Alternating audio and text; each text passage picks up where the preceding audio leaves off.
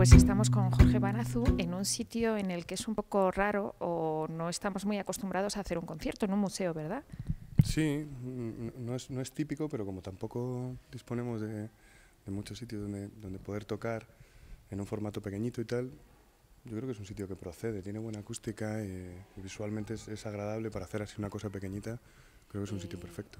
Este tipo de sitios estamos acostumbrados a verte, te hemos visto por ejemplo cantar en el Episcopio, te hemos visto cantar en algún bar y ahora en un museo, ¿eso le aporta más un toque más romántico al concierto? Bueno, el romanticismo lo lleva a la, base del por qué lo hago aquí, ¿no? que, que, sí que hay una intención, no, es solo por el, por el hecho de, tener un lugar donde hacer un concierto, sino porque descubrí el, palacio hace unos años, cuando todavía no estaba reformado, me, enamoré de, de, la estética, de, los colores de las estancias y tal, y al poco de, haberlo reformado me vine a verlo y, y, se me pasó por la cabeza la posibilidad. Además, tengo contacto vía mensajes con, con el nieto de, Caprotti y y bueno, le comenté también que, me apetecía, le hizo mucha ilusión y, y nada, ha sido un poco eso, el, encanto de, hacerlo aquí. Me gusta la obra de Guido, me, me, mola el lugar, es mi ciudad, no hay otro sitio, pues creo que... No sé si en ese espacio de tiempo, desde que descubriste el Palacio sin arreglar ahora, eh, alguna de tus canciones se ha inspirado en este museo o no. No, pero sí es cierto que en, el último año yo he estado, he estado leyendo mucho, estudiando mucho sobre sobre la, vida del Madrid de los años 40 y incluso del París de los 20, ¿no? la época de Montmartre y toda esta movida. Y bueno, al final todo tiene un poco de sentido porque tengo una foto, de hecho el cartel es una foto del estudio de Guido de Madrid y es muy, muy bohemio la historia. Es un, estudio de un pintor muy de película, ¿no? con los cuadros por ahí. Al final, realmente no me he inspirado, pero, pero sí que, la, atmósfera y todo esto tiene mucho que ver con mi manera de, de hacer música.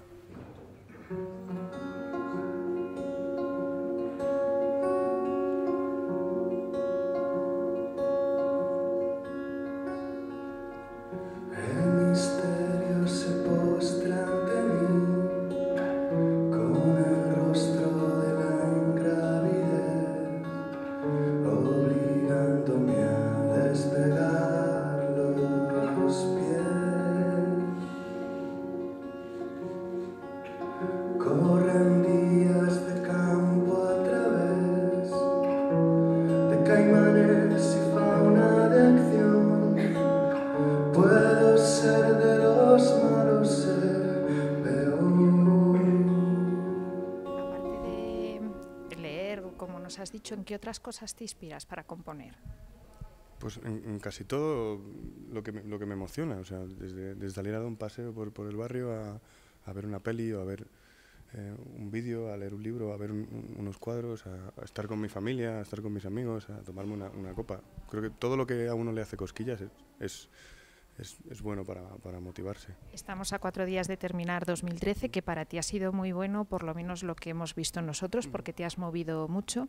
¿Cómo se presenta 2014?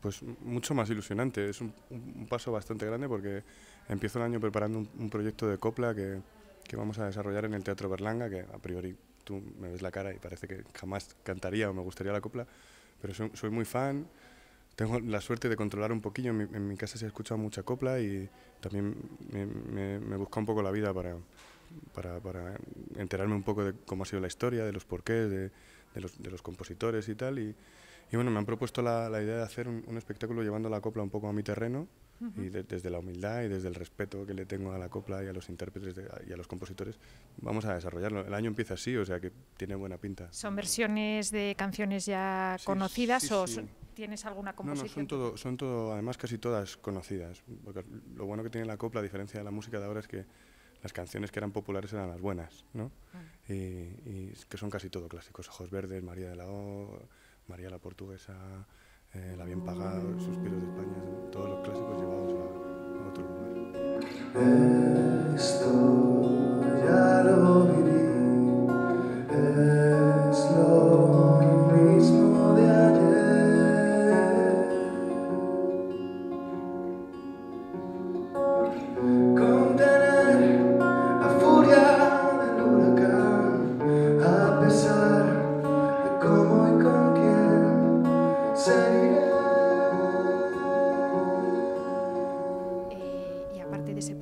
qué más cosas tenemos para 2014? Pues estamos trabajando con el repertorio nuevo, que es lo que venimos haciendo en los, en los conciertos. Hacemos muy pocas canciones del disco porque consideramos que ahí hay un repertorio nuevo chulo que, que, para la estética y el color que le estamos dando a los conciertos queda muy guay y, y, y estamos pues trabajando un poco con eso también y, y, pensando en grabar sin prisa pero teniendo en la mente el próximo disco también por lo que me cuentas, tienes mucho trabajo. Nosotros solo vemos la hora, hora y mm. media de concierto, claro. pero eres de esas personas que le gusta llevar todo cogido, bien atado, ¿verdad? Bueno, soy un poco caótico. Lo, lo que sí me gusta es, mm, yo tengo la suerte de, de, de amar mi trabajo y entonces soy más consumidor de música que músico, con lo cual ya, ya parto desde un lugar importante, ¿no? De, de, ganar un montón de perspectivas. No solo escucho música de autor, escucho mucho rock, escucho copla, escucho ranchera, escucho tango, escucho blues. Todo eso ya te abre una perspectiva importante y a la hora de, trabajar pues te facilita las cosas. Para todo lo demás soy un poco caos, pero, pero sí. Atadas las cosas, no tanto, sí que voy dejando que vengan un poco y que, que vayan surgiendo. Bueno, pues no te molestamos más, que sabemos que estás a punto de empezar el concierto y te deseamos que disfrutes, igual que vamos a disfrutar nosotros, de tus canciones y del lugar. Gracias por, por molestaros y por preocuparos por esto.